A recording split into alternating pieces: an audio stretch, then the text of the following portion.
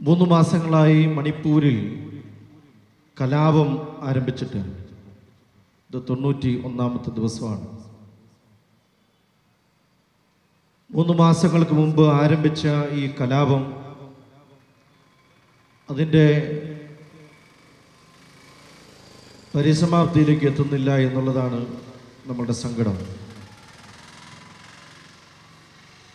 ഏറെ ദിവസങ്ങൾ പിന്നിട്ടു ആളുകൾ വലിയ അരക്ഷിതാവസ്ഥയിൽ അവിടെ ജീവിക്കാൻ തുടങ്ങിയിട്ട് ഇതിനോടകം നൂറുകണക്കിന് ആളുകളുടെ ജീവൻ പൊലിഞ്ഞിട്ടുണ്ട് മണിപ്പൂരിൽ. നൂറുകണക്കിന് ഭവനങ്ങൾ അഗ്നിക്കിരയാക്കിയിട്ടുണ്ട്. നിരവധി ആരാധനാലയങ്ങൾ ക്രൈസ്തവ ദേവാലയങ്ങൾ ഉൾപ്പെടെയുള്ള നിരവധി ആരാധനാലയങ്ങൾ അവിടെ അഗ്നിക്കിരയാക്കി തക- തകർക്കപ്പെട്ടിരിക്കുന്നു. ആളുകളൊക്കെ കൂട്ടത്തോടെ പലായനം ചെയ്ത് നാളുകളായി ഭവനങ്ങളിൽ നിന്ന് സ്വദേശത്തു നിന്ന് അകന്നു കഴിയുന്നു. വനങ്ങളിൽ പോയി ഭയത്തോടെ പാർക്കുന്ന ആളുകൾ മണിപ്പൂരിലുണ്ട്. പട്ടാളത്തിന്റെ ക്യാമ്പുകളിൽ ആളുകൾക്ക് വേണ്ടി സുരക്ഷിതമായി പാർക്കാനായിട്ട് ഒരുക്കിയിട്ടുള്ള ക്യാമ്പുകളിൽ അഭയം തേടിയിട്ടുള്ള സാധാരണക്കാരായിട്ടുള്ള ആളുകളുണ്ട്. ആ ക്യാമ്പുകളിൽ കഴിയുന്ന ആളുകൾക്ക് തങ്ങളുടെ പ്രിയപ്പെട്ടവർ നാട്ടിൽ ജീവനോടെ ഉണ്ടോ എന്നറിയാത്ത ദയനീയമായിട്ടുള്ള സാഹചര്യങ്ങൾ നിരവധി ആളുകളെ കാരണങ്ങൾ കൂടാതെ തെരുവോരങ്ങളിൽ അതിക്രൂരമായ മർദ്ദനത്തിന് വിധേയമാക്കി അവരെ കൊല ചെയ്ത് അത്യന്തം അമാനുഷികമായ വിധത്തിൽ സമാധാനത്തിന്റെ സകല സാധ്യതകളും എടുത്തു മാറ്റത്തക്ക വിധത്തിൽ മണിപ്പൂരിന്റെ ഗ്രാമാന്തരീക്ഷങ്ങൾ വൈകൃതമായി മാറിയിട്ടുണ്ട്. ഇന്നും ആളുകൾ അവിടെ ജീവിക്കുന്നത് ഭയത്തോടെയാണ്. ക്യാമ്പുകളിൽ കഴിയുന്ന ആളുകൾക്ക് അവിടെ ഭക്ഷണത്തിനുള്ള സാധ്യതകളില്ല. കുട്ടികൾക്ക് വിദ്യാഭ്യാസത്തിനുള്ള സാധ്യതകളൊക്കെ അടഞ്ഞു പോയിരിക്കുന്നു.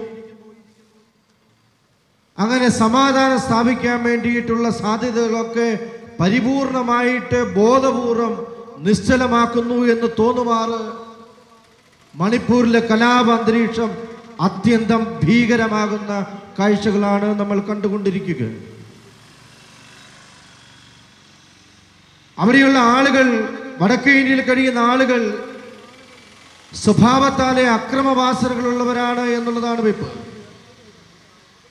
അതുകൊണ്ട് തന്നെ വടക്കേ ഇന്ത്യയിൽ മണിപ്പൂർ ഉൾപ്പെടെയുള്ള സ്ഥലങ്ങളിൽ വംശീയ കലാപങ്ങൾ ഉണ്ടാവുക സ്വാഭാവികമാണ്. ഇതിനു മുമ്പ് ഉണ്ടായിട്ടുണ്ട്.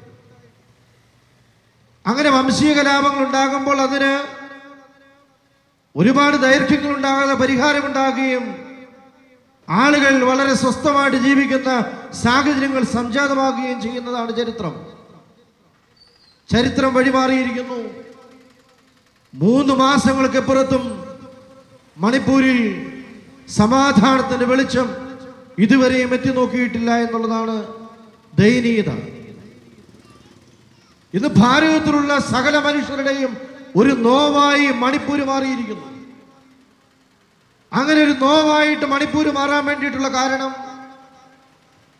ഈ മൂന്ന് മാസങ്ങൾക്കപ്പുറത്തും നാട്ടിൽ സമാധാനം സംസ്ഥാപിക്കാൻ വേണ്ടിയിട്ട് ആരും ഉത്തരവാദിത്തപ്പെട്ടവരാരും പരിശ്രമിക്കുന്നില്ല എന്നുള്ളതാണ്. ഇവിടെ അക്രമങ്ങൾ ഉണ്ടായി ക്രമസമാധാനം തകർന്നിരിക്കുന്നു. ആളുകളുടെ ജീവന് സുരക്ഷിതത്വം നഷ്ടപ്പെട്ടിരിക്കുന്നു. സമാധാനപൂർവം ജീവിക്കാൻ വേണ്ടിയിട്ടുള്ള സാധ്യതകളൊക്കെ നന്നേ അടഞ്ഞു തുടങ്ങിയിരിക്കുന്നു അത്തരം സാഹചര്യത്തിൽ. നാട് ഭരിക്കുന്ന ഭരണകൂടം ജനപ്രതിനിധികൾ ഉത്തരവാദിത്തപ്പെട്ട ആളുകൾ ഈ നാട്ടിൽ സമാധാനം സ്ഥാപിക്കാൻ വേണ്ടിയിട്ടുള്ള ഇച്ഛാശക്തിയോടുകൂടി പ്രവർത്തിക്കേണ്ടതാണ്. ഏത് രാഷ്ട്രീയ പാർട്ടിയാണെങ്കിലും അധികാരത്തിലേറിയാൽ സർക്കാർ അത് രാജ്യത്തെ സകല ജനങ്ങളുടെയും സുരക്ഷിതത്വത്തിന് വേണ്ടി പ്രവർത്തിക്കുന്ന പൊതു സംവിധാനമാണ് എന്ന് നമ്മളൊക്കെ വിശ്വസിക്കുന്നവരാണ്. എന്നാൽ ഇന്ത്യയുടെ സ്വാതന്ത്ര്യത്തിന്റെ എഴുപത്തി ആറാമത് വാർഷികത്തിലേക്ക് നടന്നെടുത്തുകൊണ്ടിരിക്കുന്ന ഈ ദിനങ്ങളിൽ നമ്മൾ തിരിച്ചറിയുന്നു നാട് ഭരിക്കുന്ന ഭരണകൂടം അത് വെറും രാഷ്ട്രീയ പാർട്ടിയായി മാറിയിരിക്കുന്നു. അത് ജനത്തിന്റെ ജീവന് സ്വത്തിന് സുരക്ഷിതത്വം നൽകാൻ കെൽപ്പുള്ള ഒരു ഭരണ സംവിധാനം അല്ലാതായി മാറിയിരിക്കുന്നു എന്നുള്ളതാണ് സത്യം. അത്തരത്തിലുള്ള സാഹചര്യത്തിൽ നിന്നുകൊണ്ടാണ് ഈ ചെറുതോണിയുടെ ഗ്രാമാന്തരീക്ഷത്തിൽ ഇടുക്കിയിലെ ചെറുപ്പക്കാർ ഇത്തരത്തിലുള്ള ഒരു നിരാകാര സമരവുമായി മുന്നോട്ട് പോകുന്നത് ആശങ്കകളുള്ളതുകൊണ്ടാണ് ഭയം തോന്നുന്നതുകൊണ്ടാണ് ഈ സ്വതന്ത്ര ഭാരതത്തിൽ ജീവിക്കാൻ വേണ്ടിയിട്ട് സാധാരണക്കാരായിട്ടുള്ള മനുഷ്യർക്ക് ഇന്ന് ഭയം തോന്നുന്നതുകൊണ്ടാണ് ഈ ഗ്രാമങ്ങളിൽ സമരങ്ങൾ മുഴങ്ങുന്നത് എന്ന് തിരിച്ചറിയണം. ഇതേതോ രാഷ്ട്രീയ പാർട്ടിക്കോ ഏതോ രാഷ്ട്രീയ നേതാവിനോ എതിരെയുള്ള സമരമായി ദുർവ്യാഖ്യാനം ചെയ്യരുത്. ഭാരതത്തിന്റെ ക്രമസമാധാനം ഉറപ്പുവരുത്തുന്ന ആളുകളുടെ സുരക്ഷിതത്വം ഉറപ്പുവരുത്തുന്ന ശ്രീകോവിലായ പാർലമെന്റിൽ പ്രതിപക്ഷ പാർട്ടികൾ ഈ രാജ്യത്തെ ജനങ്ങളുടെ ആകുലതകൾ ഇറക്കി വയ്ക്കുമ്പോൾ അവർ നടത്തുന്ന ബഹളങ്ങൾ അത് രാഷ്ട്രീയ വൈരാഗ്യം തീർക്കുന്ന കലാപമായി ചിത്രീകരിക്കുന്നത് ഈ നാട്ടിലെ സർക്കാരിന്റെ ദയനീയമായ ചിന്തയാണ്. ഇത് ഗ്രാമങ്ങളിൽ വസിക്കുന്ന സാധാരണക്കാരായിട്ടുള്ള ആളുകളുടെ പൊതുവികാരമാണ് എന്ന് തിരിച്ചറിയാൻ ഇനിയെങ്കിലും പരിശ്രമിക്കേണ്ടതുണ്ട് എന്നുള്ളതാണ് ഓർമ്മപ്പെടുത്തൽ. മണിപ്പൂരിന്റെ ഈ ക്രമസമാധാന വിഷയം കലാപ വിഷയം ഇന്ന് നമുക്ക് ആശങ്കയായി മാറാൻ വേണ്ടിയിട്ടുള്ള കാരണം ഭാരതത്തിൽ ജീവിക്കുന്ന സകല മനുഷ്യർക്കും അങ്ങനെ തോന്നാൻ വേണ്ടിയിട്ടുള്ള കാരണം ഇത് മണിപ്പൂരിന്റെ അതിർത്തികൾ ഭേദിച്ച് ഭാരതത്തിന്റെ ഗ്രാമങ്ങളിലേക്ക് ഇതര സംസ്ഥാനങ്ങളിലേക്ക് എത്തി നോക്കുമോ എന്നുള്ളതായിരുന്നു നമ്മളുടെ ആശങ്ക. ഈ ദിവസങ്ങളിൽ പുറത്തു വരുന്ന വാർത്തകൾ നമ്മുടെ ആശങ്കകൾ ശരിവെക്കുന്നതാണ്.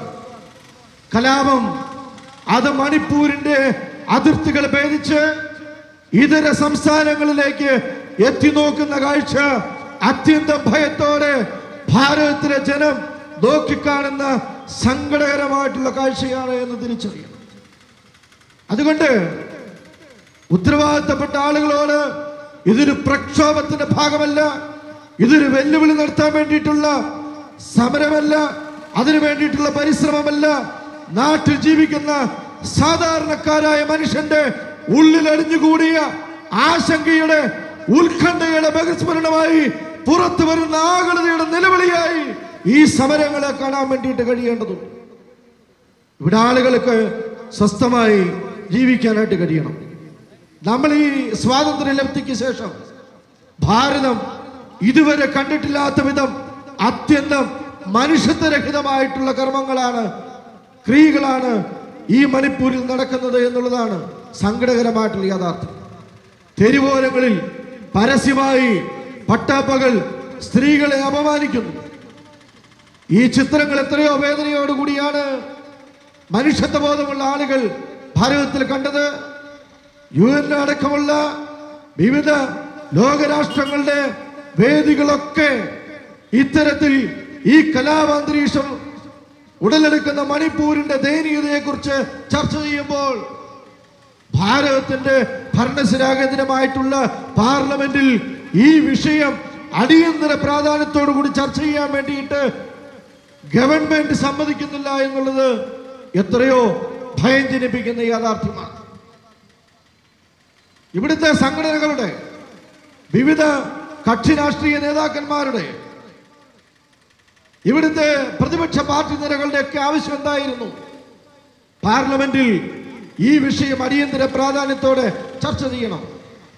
പ്രധാനമന്ത്രി ഈ വിഷയത്തിൽ തന്റെ നിലപാടുകൾ വ്യക്തമാക്കണം. പാർലമെന്റിനെ അഭിസംബോധന ചെയ്യണം. ഇത്തരത്തിലുള്ള ആവശ്യം ഉന്നയിക്കുമ്പോൾ എങ്ങനെയാണ് ഇത് രാഷ്ട്രീയപരമായിട്ടുള്ള പകപോക്കലായി മാറുക? ഇത് സാധാരണ ജനത്തിന്റെ ആകുലതയല്ലേ? ആകുലതകൾ കേട്ടില്ല എന്ന് അടിച്ചു എന്ന് മാത്രമല്ല അത്യന്തം ദുർവാശ പിടിക്കുന്നു. ഇത് അടിയന്തര പ്രാധാന്യത്തോടെ പാർലമെന്റിൽ ചർച്ച ചെയ്യേണ്ട വിഷയമല്ല. അതിന് പ്രധാനമന്ത്രി പാർലമെന്റിൽ ഉത്തരം പറയേണ്ട ആവശ്യമില്ല. അതിന് വളരെ ചെറിയ ഒരു ഹ്രസ്വമായിട്ടുള്ള ഒരു ചർച്ചയാകാം പാർലമെന്റിൽ. ആ പാർലമെന്റിലെ ചർച്ചയ്ക്ക് ശേഷം അവിടുത്തെ കേന്ദ്രമന്ത്രി ഈ വിഷയത്തെക്കുറിച്ച് സംസാരിക്കും. എത്രയോ ലാഘവത്തോടെയാണ് ഈ വിഷയത്തെ ഗവൺമെന്റ് കണ്ടിട്ടുള്ളത് എന്ന് നമ്മൾ തിരിച്ചറിയണം. നാട്ടിലേറെ സങ്കടമുളവാക്കിയ ചിത്രം സൂചിപ്പിച്ചതുപോലെ രണ്ട് സ്ത്രീകളെ തെരുവോരങ്ങളിൽ നഗ്നരായി നടത്തിക്കൊണ്ടുപോയി. അത്യന്തം മൃഗീയമായി തെരുവോരങ്ങളിട്ട് അവരെ മൃഗീയമായിട്ട് ഉപദ്രവിച്ചു. അവരെ കൂട്ട ബലാത്സംഗത്തിന് ഇരയാക്കി. രണ്ടാഴ്ചകൾക്ക് ശേഷമാണ് ഭാരതത്തിലുള്ള സാധാരണക്കാർ മനുഷ്യർ ഈ വിവരം അറിഞ്ഞത്. പത്രമാധ്യമങ്ങളുടെ പുറത്തു വന്നപ്പോഴേക്കും ഈ വിഷയങ്ങളിൽ ചൂടാറിപ്പോയിരുന്നു. എങ്കിലും ഇവിടെയുള്ള ആളുകൾ ഈ ദയനീയ കൃത്യത്തിനെതിരെ ശക്തമായി പ്രതിഷേധിച്ചു. പ്രതിഷേധം ഉയർന്നപ്പോൾ ഇന്ത്യയുടെ പ്രധാനമന്ത്രി മാധ്യമങ്ങളെ അഭിസംബോധന ചെയ്യുന്നു. ഏതാനും ചുരുങ്ങിയ വാക്കുകളിൽ അദ്ദേഹം പറഞ്ഞു ഈ മനുഷ്യത്വരഹിതമായ കൃത്യങ്ങൾക്ക് കൃത്യമായ നടപടി ഉണ്ടാകും വിട്ടുവീഴ്ചയില്ലാത്ത നടപടി. കുറ്റങ്ങളൊക്കെ ചെയ്തവർക്ക് കുറവില്ലാത്ത വിധം പരമാവധി ശിക്ഷ നടത്താൻ വേണ്ടിയിട്ടുള്ള ശ്രമം നടത്തും. തിരിച്ചറിയണം പ്രിയപ്പെട്ടവര്.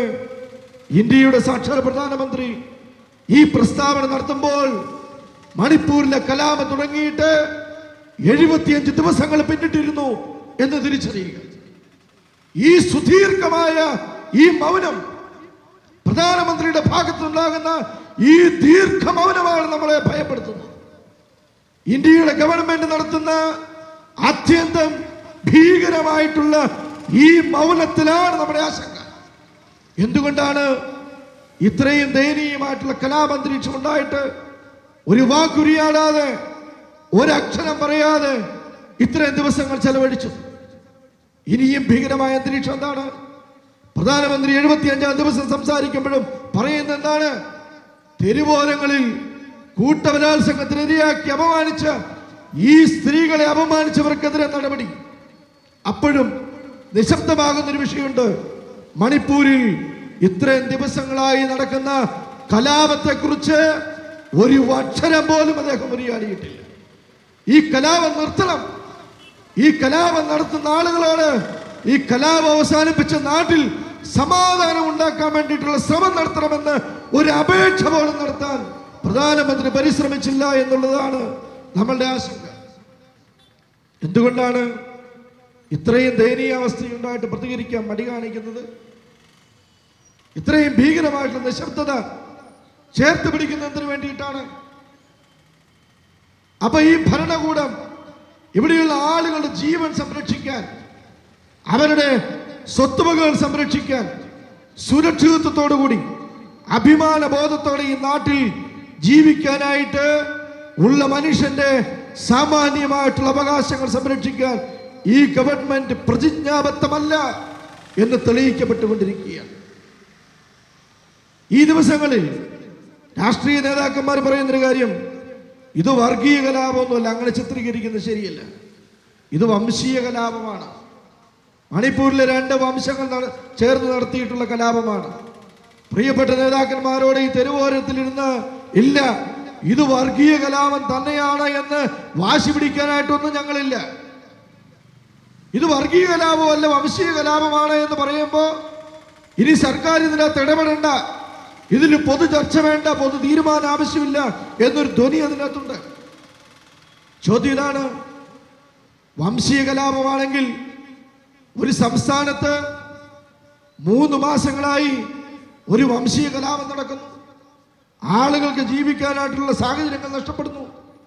അവരുടെ വിശ്വാസങ്ങൾ പുലർത്താൻ വേണ്ടിയിട്ടുള്ള എല്ലാ സാധ്യതകളും അടയ്ക്കപ്പെട്ടിരിക്കുന്നു. അവർ കഷ്ടപ്പെട്ട് പണിതുയർത്തിയ ആരാധനാലയങ്ങൾ അവർ താമസിക്കുന്ന വീടുകൾ അവരുടെ കൃഷിയിടങ്ങൾ ഒക്കെ നശിപ്പിക്കപ്പെട്ടിരിക്കുന്നു.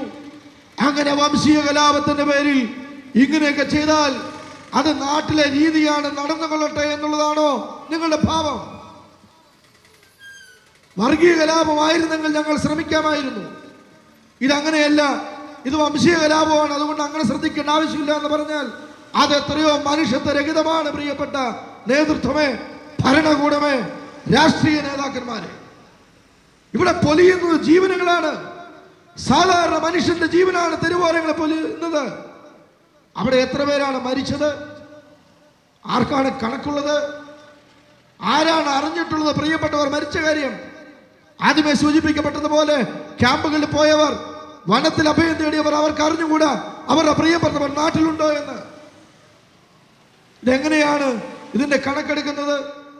ആദ്യ നാളുകളിൽ മരണപ്പെട്ട ആളുകളെയൊക്കെ പൊതുവായിട്ട് കൂട്ടത്തോടെ അവരെ കൊണ്ടുപോയി ഒരേ കുടിയിൽ അടക്കം ചെയ്യുന്ന ദയനീയ കാഴ്ചകൾ നമ്മൾ കണ്ടതാണ്. അതിനൊക്കെ എവിടെയാണ് കണക്ക്? എവിടെയാണ് രേഖപ്പെടുത്തിയിട്ടുള്ളത്? ആളുകൾ മരിച്ചുപോയി എന്ന് രേഖപ്പെടുത്തുന്നത് എവിടെയാണ്? പ്രിയപ്പെട്ട കണക്കൊന്നുമില്ല. ധാരാളം ആളുകൾ മരണപ്പെട്ട് കഴിഞ്ഞിരിക്കുന്നു. കൊല ചെയ്യപ്പെട്ട് കഴിഞ്ഞിരിക്കുന്നു. വെറുതെ അങ്ങ് മരിച്ചു പോകുന്നല്ല കൊന്നു തള്ളിയിരിക്കുന്നു. ഭാരതത്തിന്റെ തെരുവോരങ്ങളിൽ ഇങ്ങനെ സാധാരണക്കാര് മനുഷ്യരെ ഇങ്ങനെ കൊന്നു തള്ളിയിരിക്കുന്നു. അവരുടെ മൃതദേഹം വെച്ച് വിലപേശുന്നു. ഇന്നലെയും ഇന്നുമൊക്കെ പത്രങ്ങൾ നമ്മൾ കാണുന്നത് കുക്കി വംശത്തിലായിട്ടുള്ള ആളുകളുടെ മൃതസംസ്കാരവുമായി ബന്ധപ്പെട്ടുള്ള തർക്കങ്ങളാണ്. അത് ഏഴ് ദിവസം കൊണ്ട് നീട്ടിവെക്കാൻ വേണ്ടി പറഞ്ഞിരിക്കുന്നു. ഇത് എത്രയോ ദയനീയമാണ്. ഈ സ്വതന്ത്ര ഭാരതത്തിന്റെ ഗ്രാമങ്ങളിൽ ഇത്തരത്തിൽ മനുഷ്യന്റെ ജീവൻ പച്ചമാംസം കത്തിയിരിയുന്നതിന്റെ ദുർഗന്ധം കൊണ്ട് മണിപ്പൂരിന്റെ തെരുവുകൾ മലീമസമായിരിക്കുന്നുവെന്ന് തിരിച്ചറിയും. ഇങ്ങനെ നമ്മുടെ നാട്ടിൽ ഈ ആർഷഭാരതത്തിന്റെ മണ്ണിൽ ഇത്രയും ക്രൂര വിനോദങ്ങൾ നടക്കുമ്പോൾ അത് കണ്ടില്ല എന്ന് നടിക്കാൻ പ്രിയപ്പെട്ട സർക്കാരെ നിങ്ങൾക്കല്ലാതെ മറ്റാർക്കും ആവില്ല എന്ന് ഞങ്ങൾ അത്യന്തം സങ്കടത്തോടെ ആത്മകഥം ചെയ്യുകയാണ്. നിങ്ങൾക്ക് മാത്രമേ ഇത് പറ്റുകയുള്ളൂ. മറ്റാർക്കും പറ്റുമെന്ന് തോന്നുന്നില്ല. അല്പമെങ്കിലും മനുഷ്യത്വ ഭാവം ഉണ്ടായിരുന്നുവെങ്കിൽ ആരും ഇത്തരത്തിലുള്ള നടപടിക്രമങ്ങളുമായി മുന്നോട്ട് പോകില്ലായിരുന്നു എന്ന് തിരിച്ചറിയണം. അതുകൊണ്ട് മണിപ്പൂർ വിഷയം ഇത് ഭാരതത്തിന്റെ നോവായി മാറിയിരിക്കുന്നു. ഇന്ത്യയുടെ ഗ്രാമങ്ങളിൽ വലിയ സങ്കടത്തിന്റെ നിലവിളിയായി മാറിയിരിക്കുന്നു. ഗവൺമെന്റുകളോട് സംസ്ഥാന കേന്ദ്ര ഗവൺമെന്റുകളോട് സാധാരണക്കാരായിട്ടുള്ള മനുഷ്യർ ഭാരതത്തിൽ ജീവിക്കുന്ന സാധാരണക്കാരായിട്ടുള്ള മനുഷ്യർക്ക് പറയാനായിട്ടുള്ളത് ഇത് ദയനീയമാണ്. നിങ്ങൾ കാട്ടിക്കൂട്ടുന്നത് അത്യന്തം മനുഷ്യത്വരഹിതമാണ്. പിടഞ്ഞു മരിക്കുന്ന പ്രിയപ്പെട്ടവർ ഞങ്ങളുടെ സഹോദരങ്ങളാണ്. അക്രമത്തിനിരയായത് പീഡനത്തിനിരയായത് ഞങ്ങളുടെ സഹോദരങ്ങളാണ്. സ്വാഗത പ്രസംഗത്തിൽ ആമുഖ പ്രസംഗത്തിൽ സൂചിപ്പിച്ചതുപോലെ ചെറുപ്പകാലം തൊട്ട് നമ്മൾ ചൊല്ലിപ്പഠിച്ചത് പ്രതിജ്ഞ ഇതാണല്ലോ എല്ലാ ഭാരതീയരും എന്റെ സഹോദരി സഹോദരന്മാരാണ്. മണിപ്പൂരിൽ തെരുവോരങ്ങളിൽ വലിച്ചെറിയപ്പെട്ട മൃതശരീരങ്ങൾ ഞങ്ങളുടെ സഹോദരങ്ങളുടേതാണ്. അതുകൊണ്ടാണ് ഈ ചെറുതോണിയുടെ ഈ വഴിത്താരയിൽ ഈ ചെറുപ്പക്കാർ വന്നിരിക്കുന്നത്. അവിടെ പിടഞ്ഞു മരിച്ചത് ഞങ്ങളുടെ സഹോദരങ്ങളാണ്. അവിടെ വിഷമം അനുഭവിക്കുന്ന ഞങ്ങളുടെ പ്രിയപ്പെട്ടവരാണ്. അവരുടെ ദുഃഖങ്ങളോടാണ് അനുഭാവപൂർവമായി ഈ സമരമുന്നേറ്റവുമായിട്ട് പോകുന്നത്. അവിടെയുള്ള ആളുകളുടെ ദുഃഖങ്ങൾ തിരിച്ചറിഞ്ഞ് നാട്ടിൽ സമാധാനം സ്ഥാപിക്കാൻ വേണ്ടിയിട്ടുള്ള സത്വരമായിട്ടുള്ള നടപടികൾ ഭരണകൂടം എടുക്കണം. എന്നുള്ളതാണ് ഞങ്ങളുടെ അഭ്യർത്ഥന. ഇത് വൈകിക്കുന്നത് അപകടകരമാണ്. ഈ സമരത്തിന്റെ ചൂട് കത്തിച്ചൊലിച്ച സമരാഗ്നിയുടെ ചൂട് സൂചിപ്പിക്കപ്പെട്ടതുപോലെ മണിപ്പൂരിനെ അതിർത്തി ഭേദിച്ച് ഇനി ഇതര സംസ്ഥാനങ്ങൾക്ക് വ്യാപിച്ചാൽ സർക്കാരെ നിങ്ങളാണ് ഉത്തരവാദി. നിങ്ങളാണ് എരുതിയിൽ എണ്ണയൊഴിച്ചു കൊടുത്തത്. നിങ്ങളാണ് തെരുവോരങ്ങൾ മലീമനസമാക്കിയത് നിങ്ങളാണ് അവർക്ക് കൊല്ലാനും കൊല ചെയ്യാനും ഒക്കെയുള്ള ആയുധങ്ങൾ വിളമ്പിയത്. പോലീസ് സ്റ്റേഷനുകളിൽ ഇരുന്ന ആയുധങ്ങൾ സാധാരണക്കാർ ആളുകളുടെ കൈവശത്ത് വന്നത് അതെങ്ങനെയാണ്? അതാരോ കണ്ണടച്ചത് കൊണ്ടാണ്. ഉത്തരവാദിത്തപ്പെട്ട ആളുകളുടെ ഈ മൗനം ഈ കണ്ണടയ്ക്കൽ ഭാരതത്തിന്റെ ശാന്തമായിട്ടുള്ള ഗ്രാമാന്തരീക്ഷത്തെ അത്രമേൽ അക്രമാസക്തമാക്കി എന്നുള്ളതാണ് ഈ മൂന്ന് മാസം നമുക്ക് നൽകിയിട്ടുള്ള സന്ദേശം. അതുകൊണ്ട് ആഭ്യന്തര വകുപ്പും പ്രധാനമന്ത്രിയുമൊക്കെ വളരെ ചടുലമായിട്ടുള്ള തീരുമാനങ്ങൾ എടുത്ത് ഈ കലാപാന്തരീക്ഷത്തിന് അറുതി വരുത്താൻ. മണിപ്പൂരിന്റെ വശ്യസുന്ദരമായിട്ടുള്ള മണിപ്പൂരിന്റെ തെരുവോരങ്ങൾ ഗ്രാമവീഥികൾ അത് സമാധാന പൂത്തലിയുന്ന ഇടങ്ങളാക്കി രൂപാന്തരപ്പെടുത്താൻ നിങ്ങൾ പരിശ്രമിക്കണം എന്നാണ് ഞങ്ങൾക്ക് ഓർമ്മിപ്പിക്കാനായിട്ടുള്ളത്. അതിന്റെ ഓർമ്മപ്പെടുത്തലിന്റെ ഭാഗമായി ചെറുതോണി നടത്തുന്ന K C B M Idukki രൂപതയുടെ നേതൃത്വത്തിൽ നടത്തുന്ന ഈ നിരാകാര സമരത്തിൽ പങ്കാളികളാകുന്ന എല്ലാ സമരഭടന്മാരെയും ആത്മാർത്ഥമായി അഭിവാദ്യം ചെയ്തുകൊണ്ട് എന്റെ വാക്കുകൾ നിർത്തുന്നു. ജയ് ഭാരത്.